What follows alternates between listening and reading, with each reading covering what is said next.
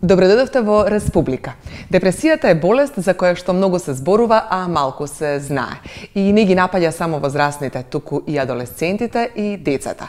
Денеска фрламе поглед кон внатрешниот мрак, односно ќе зборуваме за депресијата и како да се справиме со неа, со доктор Ана Филипче, психијатар од клиниката за психијатрија и училишниот педагог од Ѓорге Димитров, Цеце Рангелова. Добар ден и добредојдовте. Светската здравствена организација а, вели дека депресијата ќе биде втор глобален проблем до 2020 година, односно прв а, проблем кај женската популација. И овој раст на овие бројки од, од 1910 година а, кажуваат дека депресијата е опасност на денешницата. Што всушност таа представува?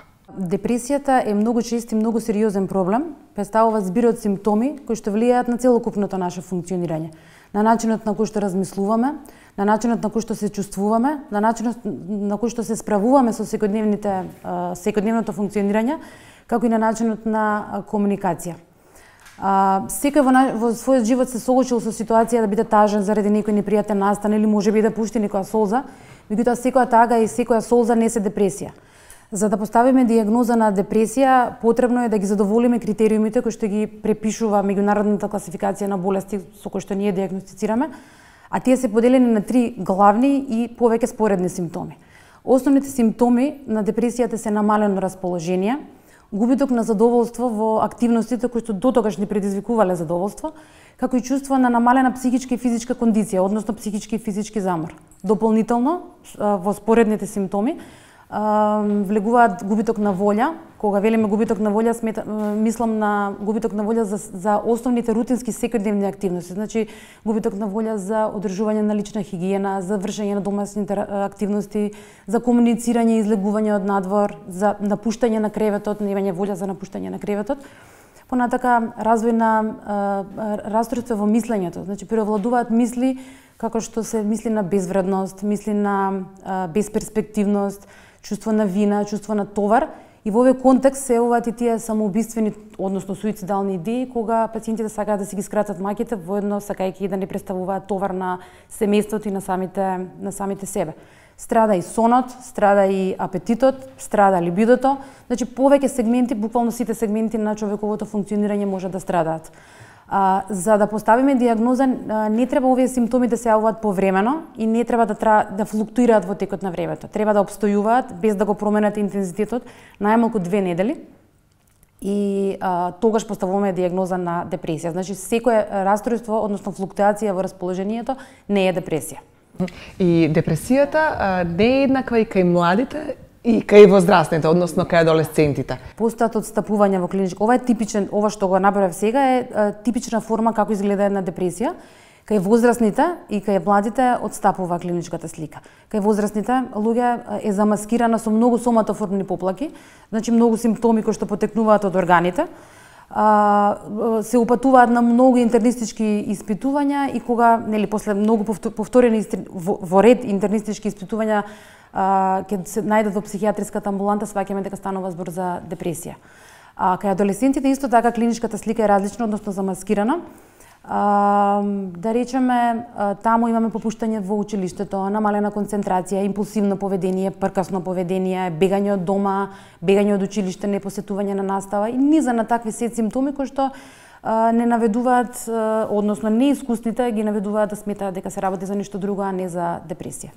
И како вие всушност детално ги препознавате овие адолесценти во рамки на училиштето и а, кој е првиот чекор во пристапувањето до нив? Знаете како тоа е еден специфичен процес. Младите во периодот на адолесценција треба да одговорат на повеќе работи истовремено. Треба да бидат добри во наставата, во воспитниот процес, да почитуваат авторитети, социализацијата е на многу високо и густо ниво, за нив е многу значајна Сите тие работи знаат да створат одреден пресинг кај децата во период од тие 4 години во средно образование и а, секогаш различен е оној кој што може да забележи дека со детето нешто се случува. Во последно време се случува да учениците сами можат да забележат кај себе одредени промени кои што траат подолг период. А, тоа се често и наставниците, тие праќаат поголем дел од времето со учениците и можат да забележат промени кај нив, промени во расположението, намалување во оценките, одсуство од настава, индикативни ситуации кои што наведуваат на тоа дека со ученикот нешто се случува и ние во стручните служби во училиштата сме оние кои што можеме да речеме во прва рака да детектираме и да пријавиме кај семејството дека ученикот проаѓа низ некој период кој што треба да биде можеби процес на наблюдување и на мониторирање. Тука е тука е нашиот дел, учениците се оние кои што први си ги забележуваат тие симптоми, нечесто можат да ги дефинираат и да ни ги образложат како што треба, затоа ние секогаш одиме на она е, интроспекција и согледување на нештата, согледување на ученикот во таа социјална средина во еден одреден период, да видиме е, колку често се повторува тоа, како се однесува ученикот во специфични планирани ситуации, во непланирани ситуации, за да можеме да донесеме некаков заклучок. Во земји со висок стандард, статистиката вели дека 15% од населението имале епизода на депресија. Кои тригер фактори постојат за да се јави таква состојба? А, тригер фактори може да има и не мора да има. Постојат така наречени ендогени депресии кои што се јавуваат и покрај тоа што во историјата на состојбата нема никаква никаков провоцирачки фактор. Меѓутоа во последниот период а, и кај генералната популација, меѓутоа и кај, и кај адолесцентите, поради стресниот и брз начин на живење, поради тоа што сме изложени на многу бројни стресогени ситуации, истите може да се јават како фактор кој што тригерираат појава на депресија. Опишани се некои животни околности кои што вака се земаат во предвид секогаш кога има развој на депресивна состојба и кај возрастните, меѓутоа и кај адолесцентите. Тука спаѓаат развод на брак, тука спаѓа губиток, дали на близок член од семејството, дали на некој што а, некој познат Понатака промена на работното место исто така е тригер фактор за за развој на депресија, несогласување во бракот, стрес на работно место, промена на работното место и така натака. Меѓутоа, секоја неповолна ситуација може да доведе до појава на депресивно расстройство. Имаме ли такви тригер фактори кои што се унифицирани кај адолесцентите? Не, меѓутоа се повторуваат некои од тие фактори, се доста зачестени и јас би ги навела, би додала овде и социјалните мрежи со оние кои што значително влијаат на учениците во комуникација, пак ќе ви кажам социјализацијата за нив е исклучително важна тој период на адолесценција да бидат прифатени, да бидат сакани и е најчеста појава поради која што се појавуваат првите знаци на нерасположение, подолготрајно нерасположение кај учениците. Училиштето е после семејството втор дом и место каде што праѓаат најголем дел од времето и учениците во тоа го викаме чопоративно движење, чопоративно живење во група е место каде што најмногу влијаат едни на други. И според нас кои што работиме во образовни институции, еден од најважните фактори што влијае на однесувањето и состојбата на учениците тој период. А дали постојат психолошки состојби кои што и предходат на депресијата? Речиси кај сите во сите состојби на појава на депресија постојат некои продроми кои што се а, не се препозна, тоа се неспецифични симптоми кои што можат, но не мора да значат дека имаме развојна депресија. Тоа се а, намалување на а, комуникацијата со социјалната средина. Детето најчесто или возрастниот почнува да се повлекува, престанува да комуницира, апетитот е намален, сонот страда.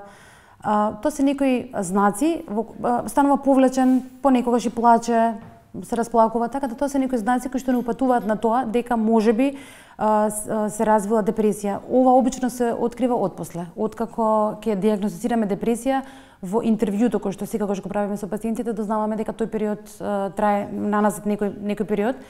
А, ниту пациентите, ниту луѓето околу него го, го препознале. Значи, секој отстапување во нормалното функционирање е продром за развој на некаква а, состојба, вклучувајќи и депресијата.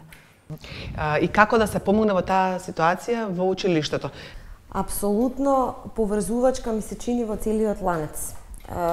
Ученик, семејство, училиште, институција, понатаму каде што се упатува, е низа од фактори каде што ниту еден не смее да биде занемарен и ниту еден е помалку важен од другиот.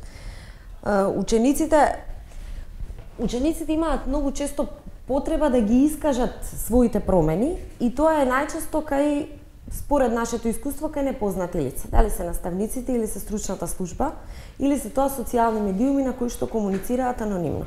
Улогата на училиштето во целиот овој синџир е пред се превентивна. Ние работиме преку работилници, преку наставни и наставни активности во подигање на свеста кај учениците за зачувување на менталното здравје.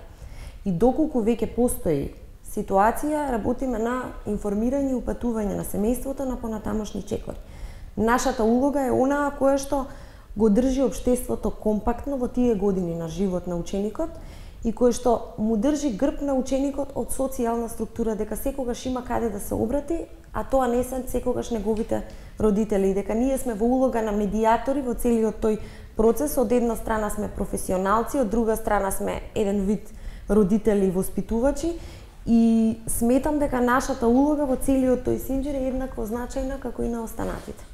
А колку родителите ги занемеруваат проблемите или отворено ги прифаќаат како такви? Во последниве години искуството ни покажува дека родителите се повеќе отворено комуницираат со наставниците, училиштето и стручните служби околу ситуациите во кои што се наоѓаат нивните деца И за волја на вистината тоа се секогаш успешни приказни и секогаш кога родителите се директно и често инволвирани во процесот, воспитно-образовниот процес на учениците, секогаш има подобри резултати доколку настапи некоја ваква ситуација појава кај ученикот. А од кого треба да очекуваме поддршката кај депресивни личности од семејството, но покрај семејството? Секако од семејството, семејството како нели примерна клетка во целокупното функционирање, училиштето, пријателите, другарите и секако доколку не се открие на време, Подршката секако и во професионалците. На клиниката на психијатрија ние имаме служби кои што се занимаваат со оваа проблематика, кои што ги прифаќа овие луѓе со овој проблем и треба да се знае дека овој проблем се решава, се решава успешно, постојат повеќе модалитети, повеќе начини на пристап како се лекува оваа состојба. и многу е важно да во целиот, целата постапка на прифаќање и на лекување да се нагласи дека не се работи за слабост на карактер, како што многу често се толкува тоа.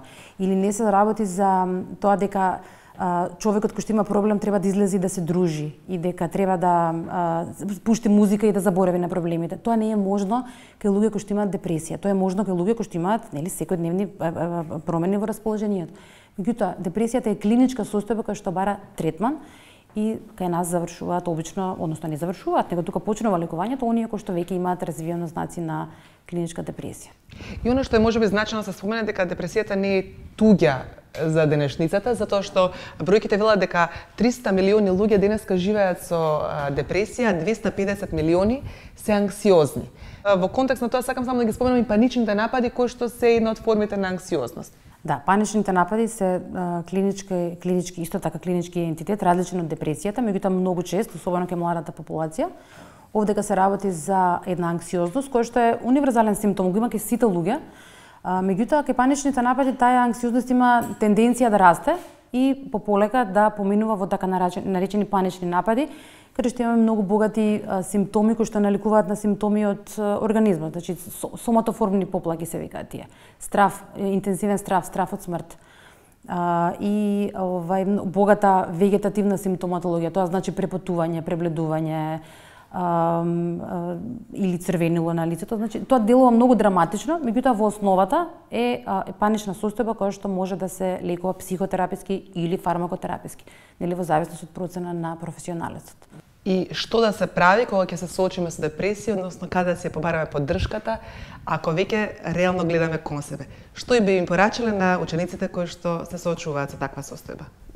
учениците пред се целиот образовен систем во нашата држава мора повеќе да работи на превенцијата. Превенцијата која што ќе го опфати системот на здраво родителство, здраво образование и институции подготвени да прифатат доколку постои некаде проблем.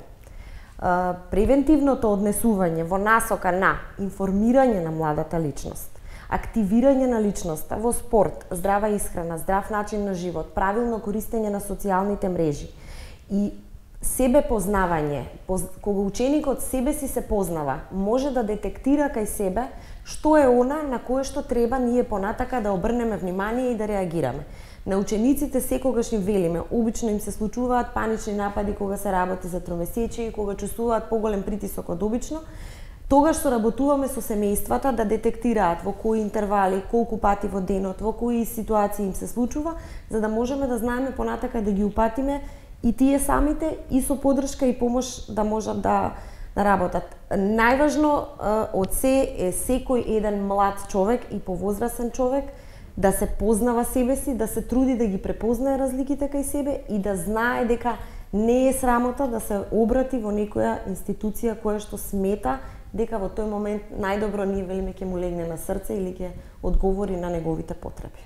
И во случај кога не можеме на тој начин да се помогнеме, како да се справиме со депресијата? На клиниката на психијатрија постојат професионалци и служби кои што се занимаваат со последиците од несправувањето, да речам, со потешкотиите, потешкотиите кои што, кои што ги наведовме. Постојат повеќе пристапи, психолошката служба која што работи психотераписки и секако психијатриската служба која што а, а, доколку има потреба, не во секој случај, а, препишува и антидепресивна терапија. Антидепресивната терапија не е табу, коригира, го коригира сите овие проблеми кои што предходно ги ги набројавме. Како до квалитетно ментално здравје? Квалитетот на живот е она што е а, важно, може би ќе делува како веќе слушнато или веќе видено, меѓутоа а, на, а, правилниот начин на исхрана, вклучување на а, физичка активност во функционирањето, наоѓање вентил на растеретување од анксиозноста било каков. Оној нема универзален рецепт. Оној кој што му лежи и лежи на индивидуата е правилниот начин како да го држиме нашето ментално здравје. Секако комуникацијата во семејството, во училиштето, помеѓу другарите, вклучување, социјална интеракција, тоа е начинот како да се одржи менталното здравје. Почитувам многу и благодарам за овие теми кои што ги отворивме денеска. Се надам дека ќе се обидеме да ја дестигмати стигматизираме оваа тема која што не пресретнува денеска. Благодарам многу. Почитувани, вие гледавте видео подкаст на Республика.